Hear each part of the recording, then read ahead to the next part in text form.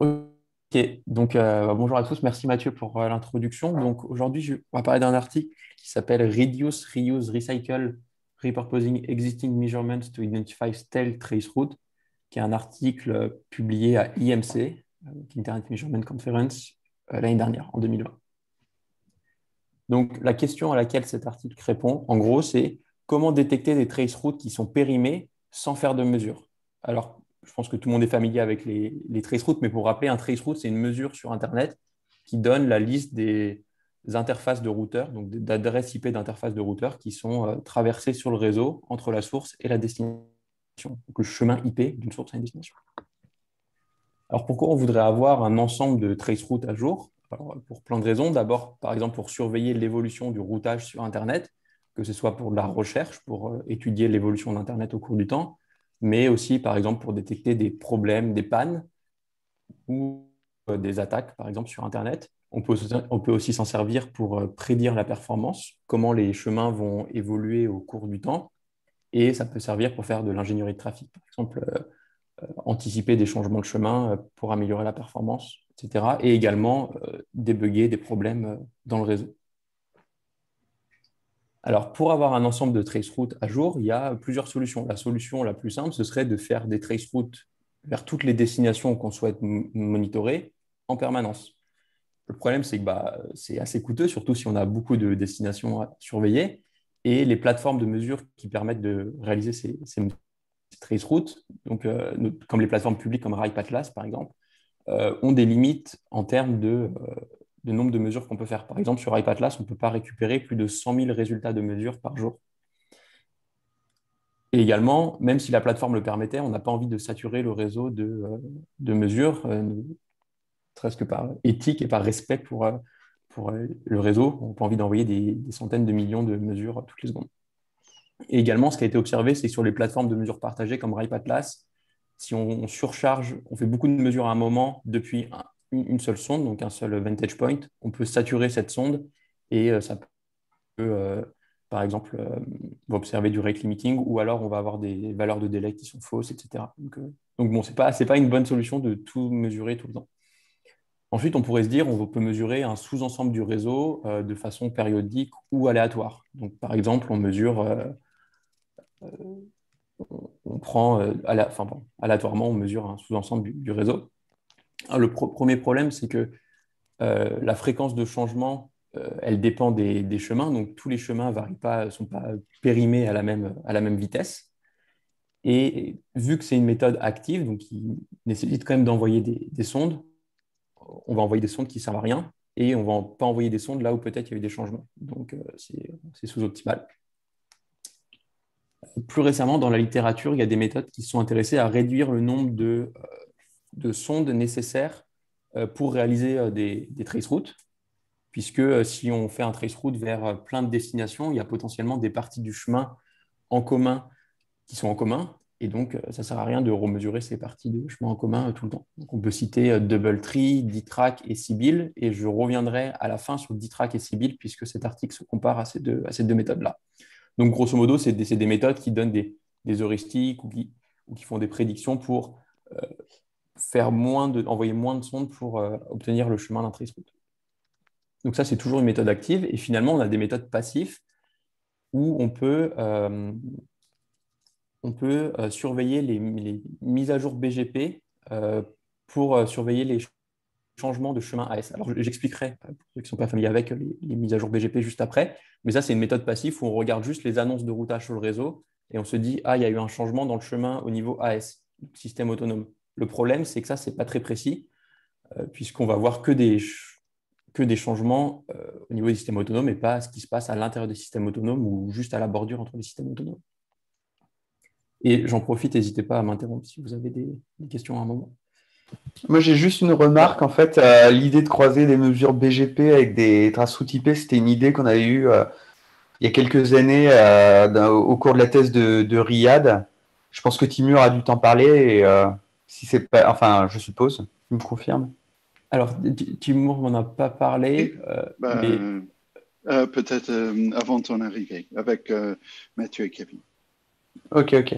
C'est juste que comme Riyad avait quand même passé trois ans là-dessus, si t'es pas au courant de ses travaux, ça peut peut-être valoir le coup d'y jeter un œil. Ah ok, bah, eh bah, bah, merci. je, mais je, enfin, avec ce papier, j'ai découvert un peu ce, champ aussi, donc je suis pas, pas de problème. avec la littérature, donc euh, donc effectivement, euh, c'est euh, une solution proposée par cet article qui est de mixer la surveillance des annonces BGP, donc de façon passive, et également toujours de façon passive de surveiller les jeux de données de traceroute existants, puisque sur les plateformes comme Ripe Atlas, il y a, plus, des, dizaines de milliers de traceroutes qui sont réalisées chaque seconde et par d'autres personnes, et on peut réutiliser ces mesures sans en faire de nouvelles. Donc, concrètement, la solution proposée ne réalise aucune nouvelle mesure, à part utiliser des mesures qui sont déjà existantes euh, dans le, réseau sur Internet. Au niveau des, mises à jour BGP, il y a deux euh, choses qui sont faites en plus de juste surveiller les changements au niveau du chemin AS, c'est détecter les, euh, les, changements de communauté, donc qui sont des métadonnées associées aux mises à jour BGP, mais je vais l'expliquer juste après, et les mises à jour dupliquées qui sont potentiellement des, messages BGP vont être émis sur le réseau, même s'il n'y a pas de changement au niveau du chemin entre, euh, AS. Euh, des fois, il y a un changement juste intra-AS dans le routage intra-AS et euh, des mises à jour BGP vont quand même être émises. Ils exploitent ce, fait-là. Et puis, surveiller les jeux de données publics existants, donc pour surveiller les changements de chemin IP. et puis, border changes et IXP membership changes, j'y reviendrai juste après. J'ai deux questions pourquoi euh, les duplicate updates, euh, ils pensent que c'est intéressant et pourquoi les BGP withdraw, ils considèrent que c'est pas intéressant? Euh, Alors, c'est peut-être un abus de langage de ma part quand j'ai mis BGP update. Non, je pense pas. Enfin, j'en sais rien. Mais en fait, tu as deux types de messages dans BGP. Tu as les updates. C'est en gros, comme leur nom l'indique, un changement de chemin. Il y avait ce chemin et maintenant il devient comme ça. Ouais. Et tu as les withdraw qui disent ce chemin maintenant n'existe plus. Typiquement, pour une raison X ou Y, tu dis euh, j'ai plus envie de passer par là, donc maintenant euh, les, paquets vous passez ailleurs. Donc mécaniquement, ça, a changé les chemins. Euh, ça. je pense qu'ils le prennent en compte dans ASPAF changes, puisque du coup, ça change ton ASPAF si tu as un withdraw. Si j'ai bien bah, compris. disons que ce, qui est, ce qui est un tout petit peu bizarre, c'est qu'il y a vraiment deux classes de messages, c'est les BGP update et les BGP withdraw. Et là, en fait, il dit monitor BGP update. C'est ça qui me surprend ah, un petit peu, en fait. Ah, en fait, je, ouais, alors je pense, alors peut-être je me trompe, mais je pense que plus généralement, en fait, c'est monitor euh, BGP table où tu reconstruis la table BGP à partir des updates et des withdraws. De là, mm -hmm. les changements d'ASPAF. Et euh, ce qui concerne vraiment les updates en particulier, c'est la partie duplicate update qui dit quand il y a un changement de routage intra-AS, on observe qu'il y a des updates qui sont émises et, qu'il y a pas de, et qui sont duplicate puisqu'elles ne changent pas la ASPAF. C'est une, une, Enfin, je ne sais pas si c'est ça fait sens. Non, non, je, je pose la question, j'en sais rien. Je, pense que je, pense que c'est euh, c'est moi que j'ai mis monitor BGP updates, mais c'est plutôt euh, euh, monitorer la table BGP que tu la vue BGP que tu te construis en écoutant de manière générale. Oui, non, mais je pense qu'effectivement, il y a, en fait, familièrement, tu peux dire les BGP updates en parlant un petit peu de tous les messages, mais du coup, je savais pas si c'était le type de message ou pas. Mais... Non, c'est de manière générale. Ok, ok. Et voilà. Et donc, euh, le, système, euh, donc une, vue globale, c'est ce qu'ils appellent, leur système, ils appellent ça signals. En gros, ils, récupèrent un ensemble de signaux qui indiquent si un traceroute est périmé ou pas.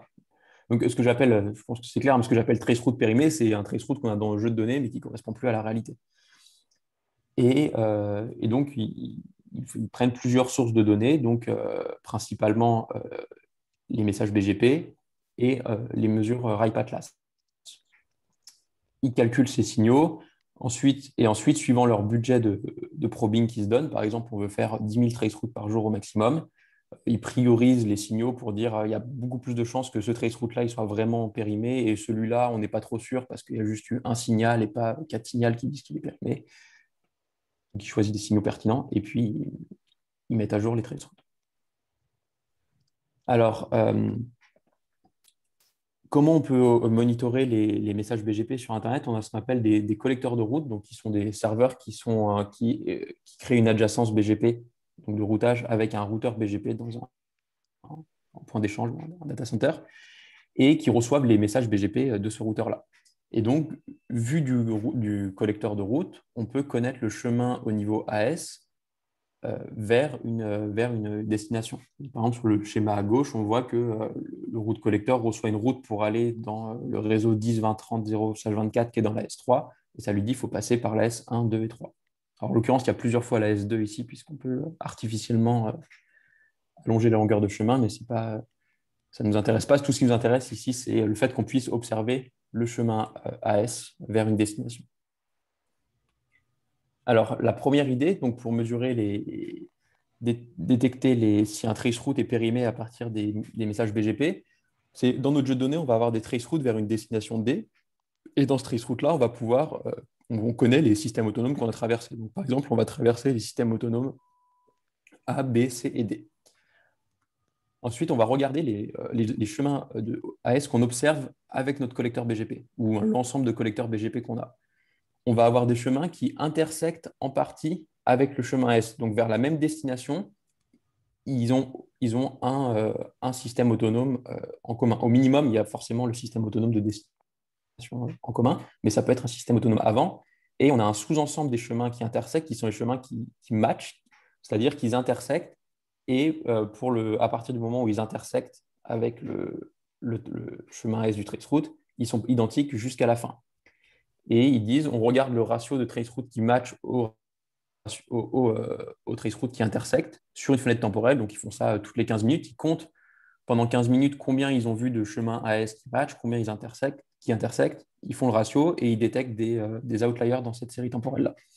Donc, si à un moment, il y a un changement dans le chemin AS qui est observé par plusieurs collecteurs BGP, ça va faire changer ce ratio-là. Et on peut dire qu'il y a de grandes chances que le traceroute soit plus valide, puisque euh, les ASPAF qui intersectaient, qui matchaient par exemple, aujourd'hui euh, ne matchent plus euh, avec le chemin S du traceroute. Donc ça, c'est classique et c'est fait par plein d'autres travaux avant, mais, la limitation de ça, c'est que c'est que des au niveau AS. Ensuite, il propose de détecter les changements dans les communautés BGP. Alors, en gros, les communautés BGP, c'est des métadonnées qui sont ajoutées par les routeurs euh, BGP dans les messages qu'ils envoient et qui peuvent indiquer euh, plusieurs, euh, plusieurs, plusieurs choses et qui peuvent servir pour l'ingénierie de trafic, par exemple.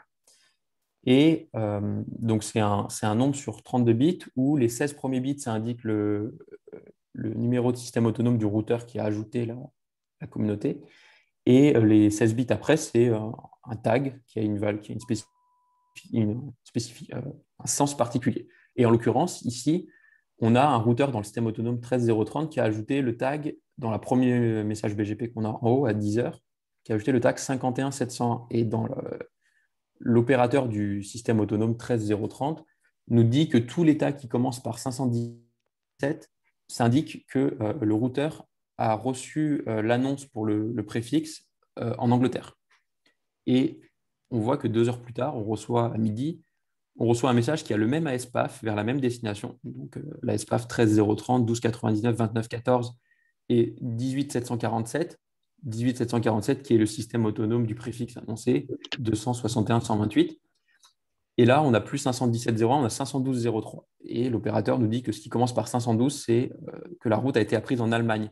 Donc, ce qui s'est passé, c'est que euh, cet opérateur 13030, euh, il est interconnecté avec l'AS 1299 à deux endroits, en Angleterre et en Allemagne, et que euh, potentiellement, vu qu'il n'a pas appris la route du même euh, lieu géographique, il y a eu un changement au niveau IP, mais qu'on ne voit pas dans le, niveau, au niveau des systèmes autonomes traversés. C'est toujours les mêmes systèmes autonomes traversés, mais le chemin IP potentiellement a changé. Donc ça, c'est aussi un signal qui nous dit les traceroutes qui en passaient par, qui avaient un système, dont la SPAF intersectaient avec euh, cet ASPAF-là, euh, ils sont périmés potentiellement, puisqu'au niveau IP, ils sont plus, ils sont plus bons. Juste une petite remarque. C'est pas tous les AS qui documentent le rôle de leur communauté. Ouais. Ça, c'est le premier point. Et c'est pas forcément lié à la provenance géographique. Ça peut être n'importe quoi dans l'absolu ça c'est le premier point, forcément à ça, et deux, c'est pas forcément documenté. Donc euh, ça peut être un indice, effectivement, mais c'est pas un indice sûr à 100%. Alors, de même alors, ouais. enfin, c'est juste une remarque. Hein, euh, Et dans, dans, la série des autres marques, il y avait un autre truc aussi, c'est que euh, tu peux effectivement regarder ce qui se passe au niveau des AS pour suspecter un changement IP, mais tu peux imaginer des cas où euh, il y a eu un changement, mais tu l'as pas vu au niveau BGP, ou au contraire, il n'y a pas eu de changement, mais euh, enfin, il n'y a pas eu de changement au niveau de ton chemin, même si tu as vu un, changement au niveau BGP. C'est juste que, en gros, par le jeu des annonces et selon le placement de tes Vantage Point BGP, la mise à jour que tu as vue concernait ton Vantage Point BGP, mais pas ton point de mesure IP. Donc tu peux imaginer un petit peu toutes les situations. Hein, donc c'est des indices. C'est-à-dire que ça peut te donner euh, des indices conservatifs, genre j'ai vu quelque chose, donc a priori c'est quand même une bonne idée de mesurer, mais c'est euh, juste un indice, quoi. C'est pas une garantie. C'est, euh... je, suis d'accord, je suis d'accord. Et euh, puis j'en parlerai un peu à la fin, mais c'est sûr que c'est un système beaucoup plus complexe que des. en mélangeant toutes ces heuristiques-là, tous ces signaux, alors, ça marche pas trop mal, comme on le verra à la fin, mais c'est sûr que, que c'est un peu incrémental. Quoi. Si on rajoute beaucoup de signaux différents pour euh, essayer à la fin d'avoir une précision qui est, bonne, mais effectivement, c'est heuristique. Et, surtout, il y, a des, il y, a des endroits où finalement, euh, tes, tes, points de mesure BGP ne couvrent pas certaines, certains bouts de chemin d'AS, et là, tu peux pas trop en profiter. Mais bon, ça, j'ai envie de te dire, c'est comme quand tu n'as pas de mesure BGP. Oui, ouais. Euh, voilà, donc ça c'est pour les mises à jour des comités BGP. Et ensuite, on a les, euh, les duplicate updates. Donc ça, c'est euh, l'idée, c'est de dire, comme je dis, dit avant, mais s'il y a un changement, c'est ce que j'ai compris, s'il y a un changement de routage dans un réseau ou un changement quelconque à l'intérieur d'un réseau, les routeurs ont tendance à remettre des annonces, des annonces BGP. Et donc, si on voit plusieurs fois de suite la même annonce BGP avec euh, le même ASPAF et qu'on observe ça depuis plusieurs collecteurs BGP, on peut se dire que sur le sous-ensemble du chemin AS qui est partagé par tous les collecteurs BGP, il y a eu un changement plus bas que le niveau AS. Il y a eu un changement euh, IP qu'on qu'on voit, voit pas directement. Ah, j'ai compris maintenant pourquoi ils regardent euh, les duplicates. C'est parce qu'en fait, oui, effectivement, c'est ça. C'est que tu peux avoir plusieurs routeurs de bordure, si tu veux, qui vont émettre indépendamment le même chemin d'AS, mais si tu veux, ils ne l'ont pas appris au même moment. Et donc, du coup, le fait d'observer un duplicate signifie que c'est, euh, tu as eu deux vagues. As eu, euh, la première update que tu as vue, c'était la première vague, elle est sortie par un premier routeur de bordure.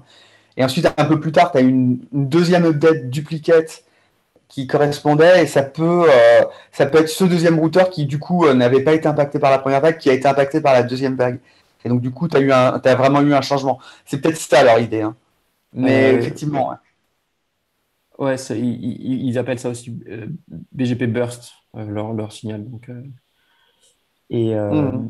voilà, donc ça, c'est la, la, troisième, le troisième signal qu'ils extraient des, des, annonces BGP.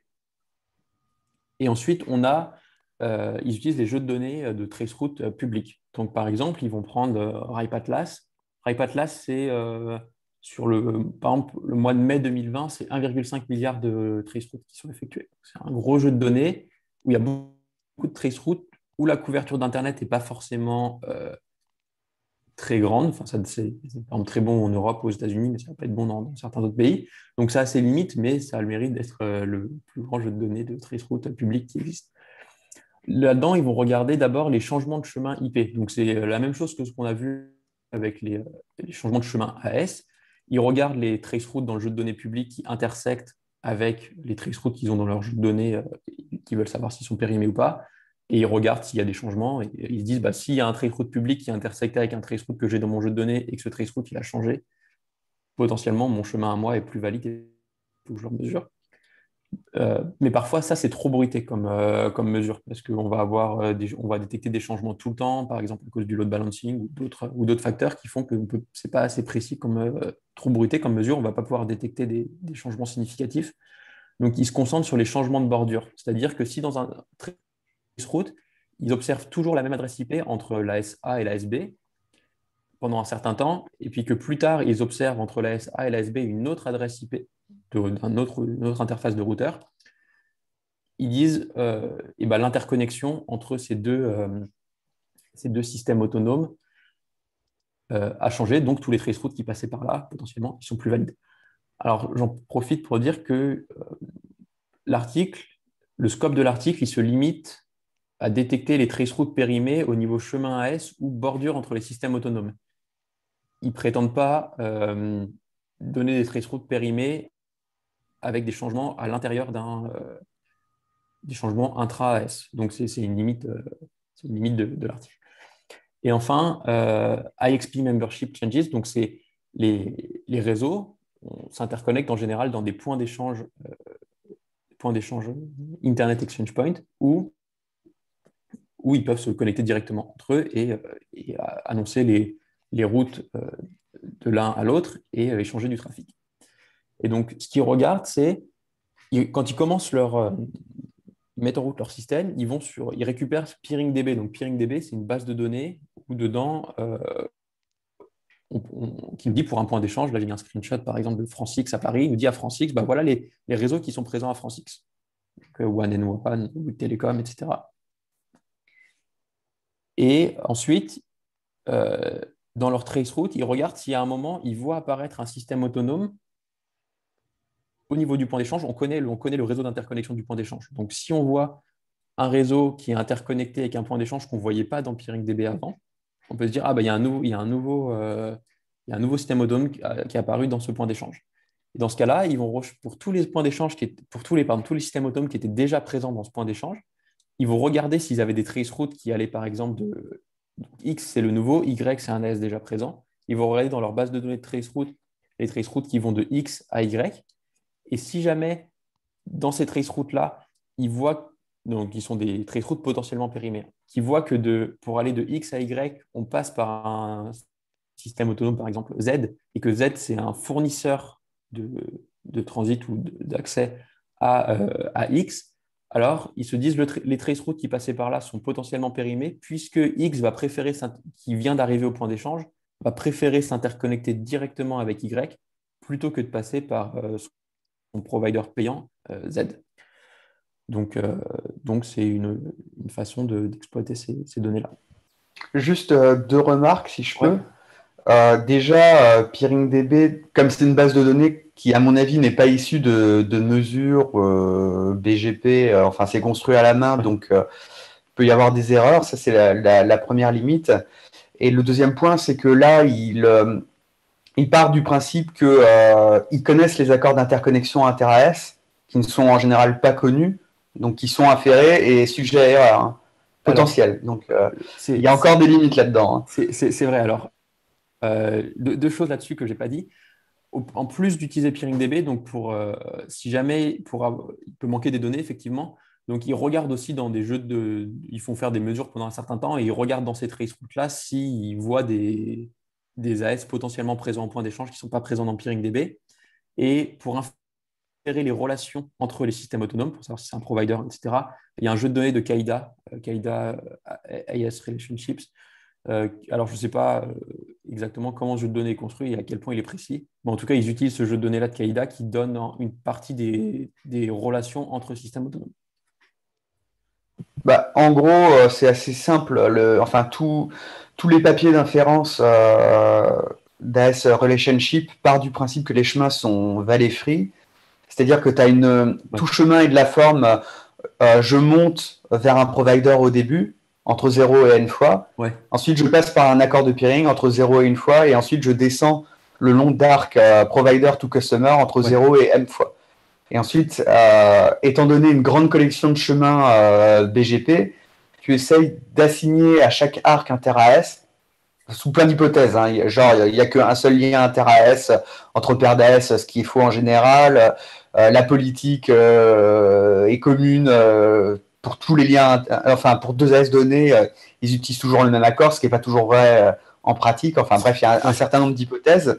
Et tu essayes de, résoudre un problème d'optimisation où tu maximises le nombre de chemins valley free. Plus généralement, d'ailleurs, pour euh, limiter les biais, en fait, tu décomposes chaque chemin en paires consécutifs d'arc, donc en sous-chemin de taille 2, ce qui évite les biais au niveau des points de mesure. Et tu maximises le nombre de, paires d'arcs euh, de sorte à ce que ça reflète un truc valley free. En fait, si tu regardes le, format d'un chemin valley free, il suffit de regarder l'arc précédent pour voir quelle est la nature de l'arc suivant euh, parmi les autorisés. Donc tu maximises ça en fait. Ok, ok. Donc, euh, ouais, donc c'est sûr que c'est. Euh, euh, donc il y a, beaucoup d'hypothèses. Oui, c'est complètement heuristique. Quoi. Ouais, après tu fais ce que tu peux, tu vois, et c'est déjà bien, mais enfin, ce que je veux dire, c'est que, enfin, c'est un peu tout le problème des papiers mesures, c'est qu'il y a beaucoup, beaucoup d'hypothèses. Et là, là, je vois le nombre d'hypothèses s'envoler, donc pourquoi pas, mais. Je, suis d'accord, je suis d'accord que c'est beaucoup, beaucoup d'hypothèses.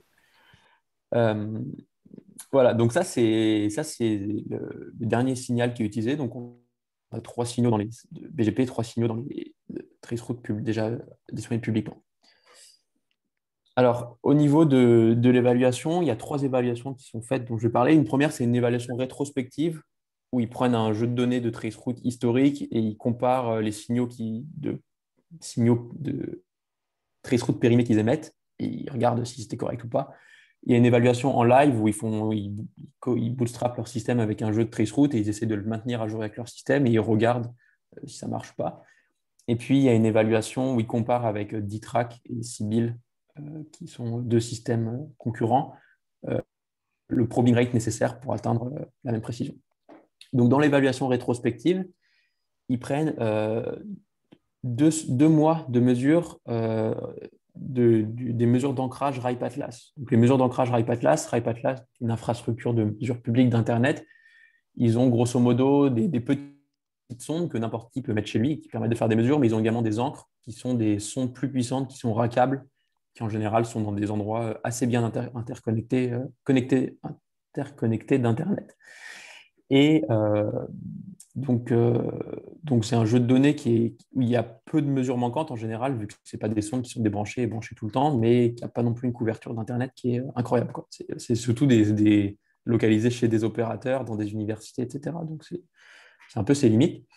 Donc ils, ils prennent ce, jeu de données-là pendant euh, deux mois et, et, ils regardent les, les traceroutes au fur et à mesure qui, sont, qui ont changé, donc qui sont périmés, qui sont mis à jour. Et puis ils appliquent leur méthode en parallèle et ils regardent les, signaux qu'ils ont émis. Et ils calculent deux métriques, donc qui s'appellent précision et le coverage. Alors ce qu'ils appellent coverage, en réalité, c'est le rappel en statistique, mais ils appellent ça coverage. Et euh, donc la précision, ça veut dire qu'on a peu de, euh, faux positifs. C'est-à-dire que, la précision est élevée si on dit là, il y a eu, si on, par exemple, on pourrait avoir une précision très mauvaise si on disait à chaque instant, il y a eu un changement euh, le traceroute est périmé alors qu'en réalité, il n'est pas périmé. Euh, dans ce cas-là, euh, dans ce cas-là, on aurait une précision très mauvaise, mais on aurait un rappel très bon, puisqu'on détecterait tous les, on dirait, on dirait tous les traceroutes périmés, mais on détecterait aussi plein de traceroutes qui ne sont pas périmés. Donc l'intérêt, c'est d'avoir une précision et un rappel qui est assez. Donc, toutes leurs techniques, tous leurs signaux pris individuellement ont une bonne précision. Ça veut dire qu'ils vont, quand ils disent qu'il y a eu un changement, il y a en moyenne réellement un changement. Mais par contre, ils n'ont pas un très bon rappel. C'est-à-dire que pris individuellement, ils ont tendance à manquer beaucoup de changements. ils vont vraiment détecter certains changements, mais tout le reste, ils vont passer à côté. Par contre, quand ils combinent leurs signaux ensemble, ils arrivent à un, rappel de 0,86, euh, ce, qui est largement meilleur que, pris individuellement. Euh, donc, euh, et, et, donc, ils calculent ces statistiques également sur trois cas. Donc, soit ils regardent les changements euh, AS ou les changements bordure entre AS, soit les changements que AS, soit les changements que bordure euh, d'AS. Et logiquement, ils ont les meilleurs résultats sur les changements euh, que au niveau AS, puisque c'est la granularité la plus, grossière.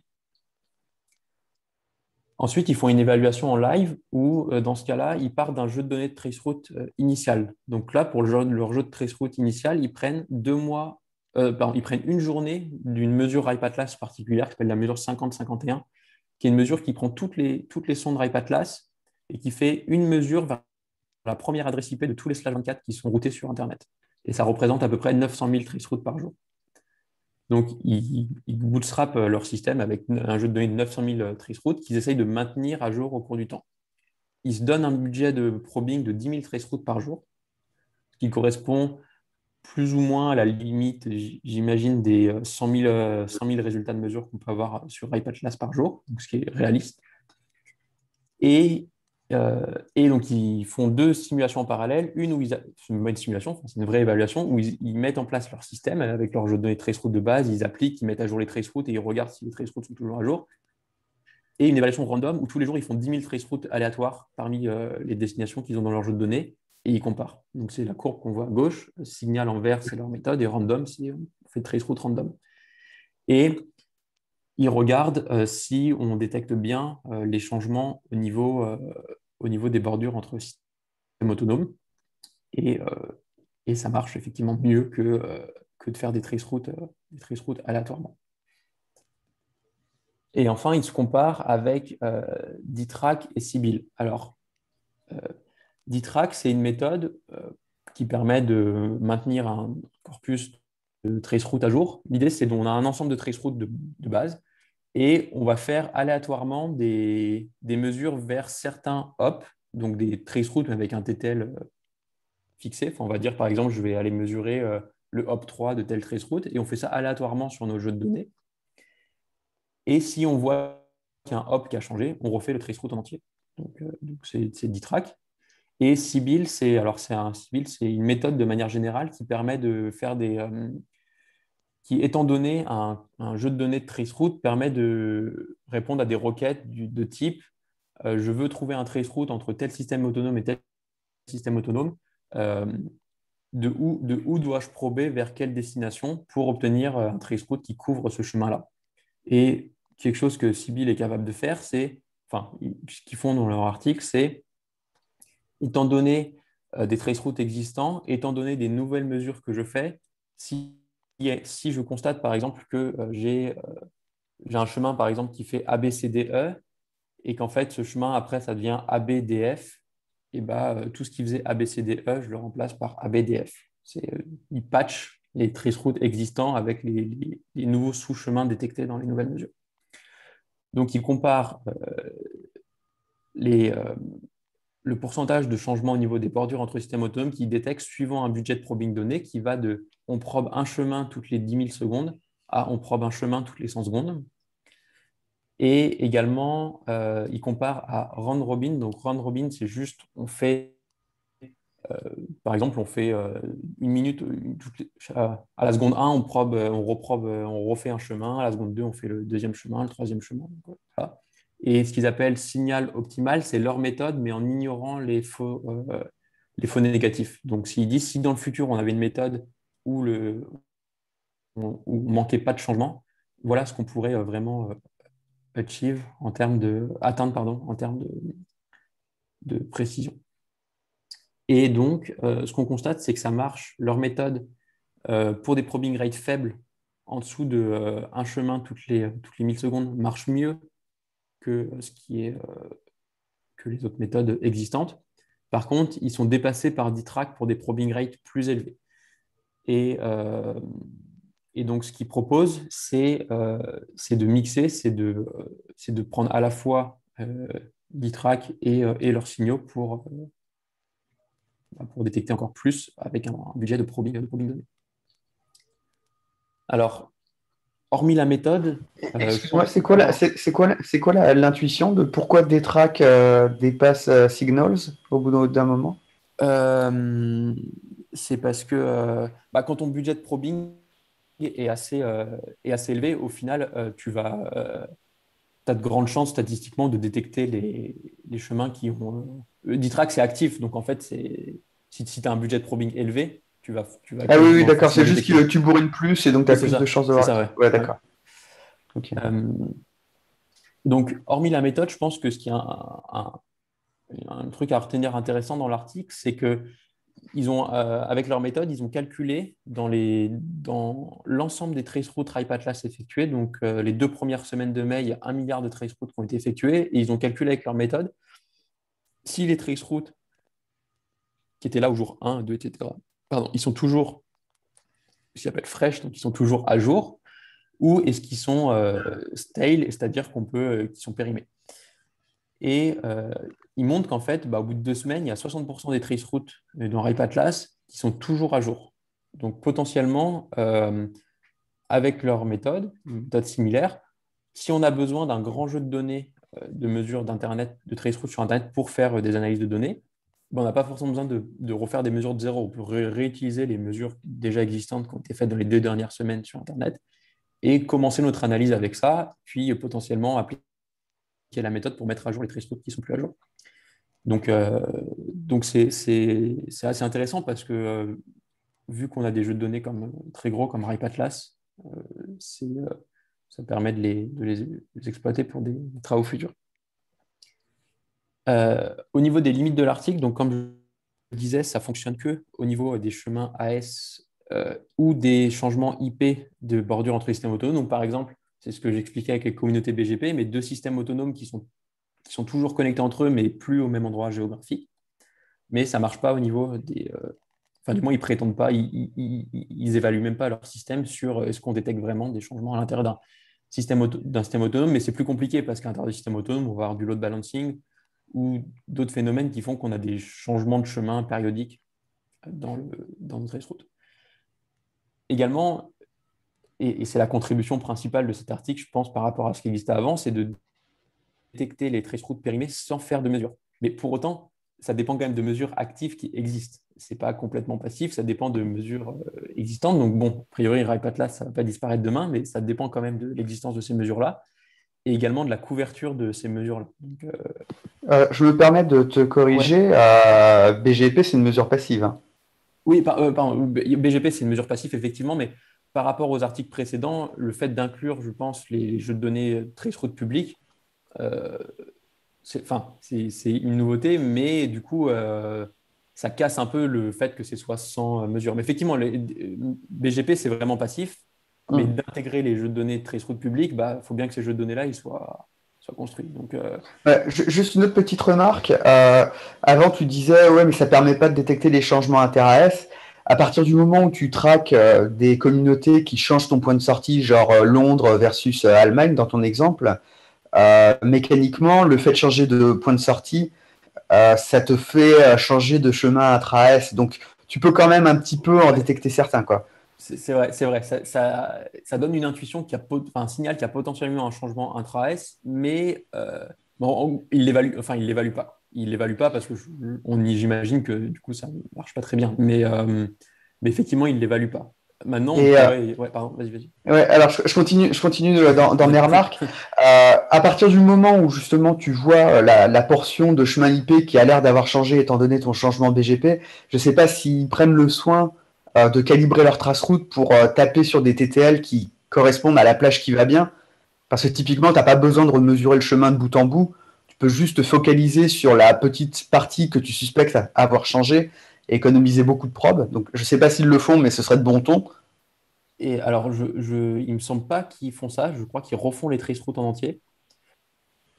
Ok. Euh, ils refont les traceroutes entiers. Par contre, une aparté, tu parlais de calibration, donc une partie que je n'ai pas parlé c'est que là, ils ont plusieurs signaux et en gros, ils ont une phase de calibration au début du système où en fait, ils vont, ils vont mettre à jour assez souvent leur euh, traceroute et regarder par rapport aux signaux qui ont été émis si tel signal pour tel de préfixe destination, par exemple, était pertinent ou pas. Ils vont assigner des poids différents aux signaux suivant les. Donc, euh, donc c'est un autre, un autre type de calibration de ce dont tu parlais, mais juste pour être complet, euh, ils, font, ils font ça également. Hmm. Bah, là, c'était vraiment pour économiser de la probe. Hein. Je sais que euh, tout, gars qui fait de la mesure, il est très sensible. Là, c'est un peu dommage euh, de ne pas en profiter s'ils peuvent en profiter. Mais bon. Et euh, voilà. Et puis, et puis bah, que c'est un système complexe dans un sens. donc, ça fonctionne, mais ça dépend de l'existence de pas mal de services externes de la communauté.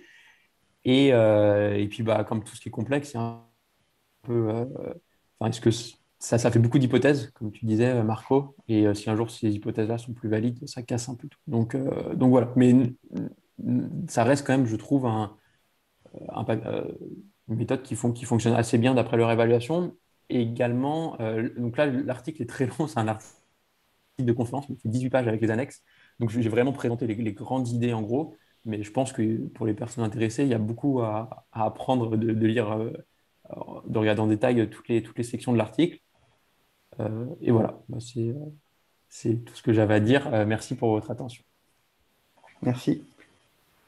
Juste une petite euh, remarque. Est-ce que tu peux revenir sur la courbe où il compare le signals optimal versus l'autre?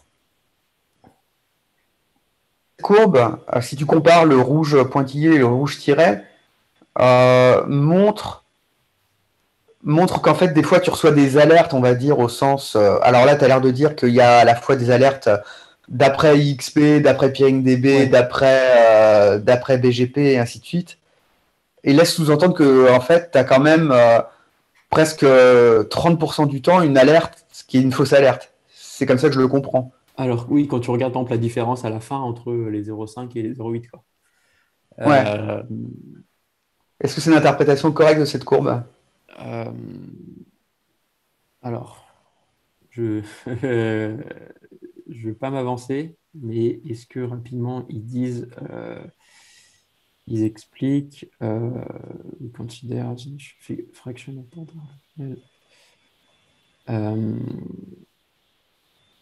donc ça marche bien quand le probing rate est faible, etc.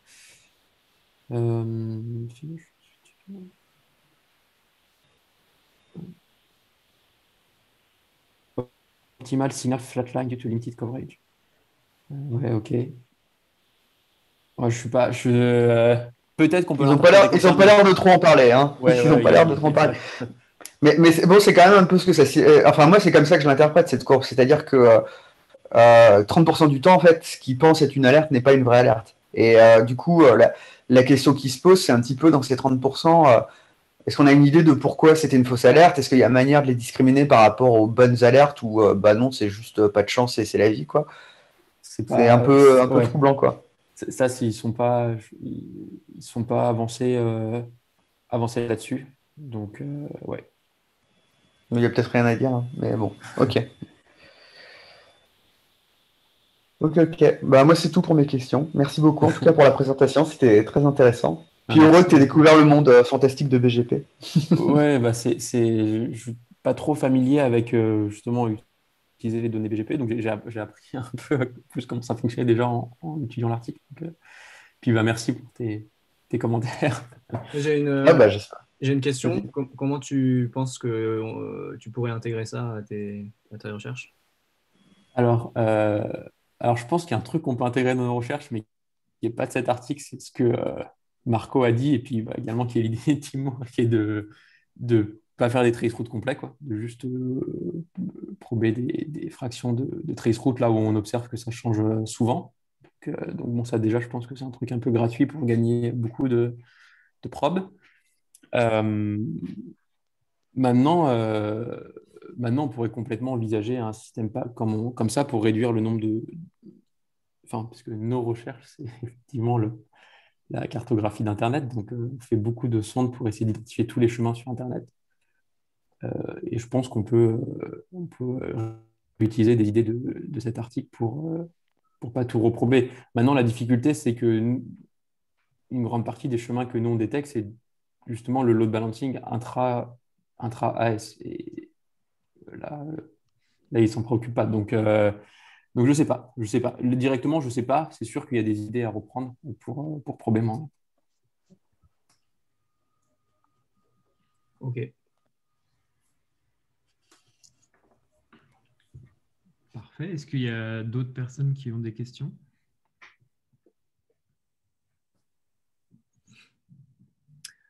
Euh, alors, un takeaway que j'avais aussi, moi, qui est vraiment, enfin, qui est, je pense, euh, le takeaway en termes d'analyse, c'est euh, si tu regardes la figure 1 du papier.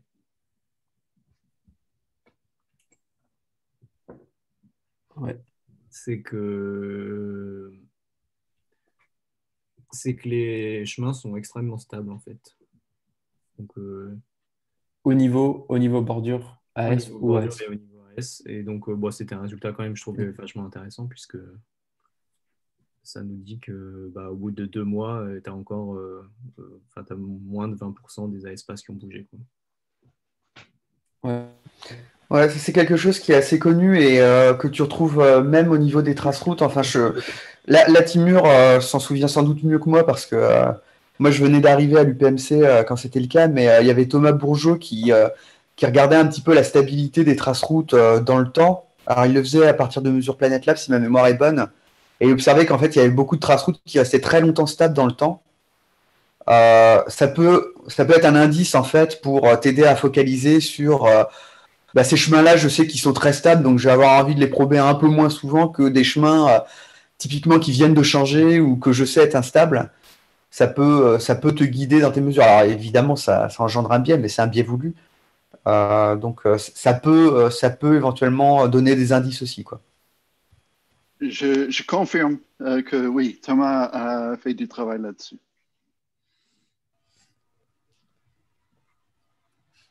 Ok. Bah, parfait, je vais peut-être euh, arrêter l'enregistrement là, si c'est bon pour vous. Ok.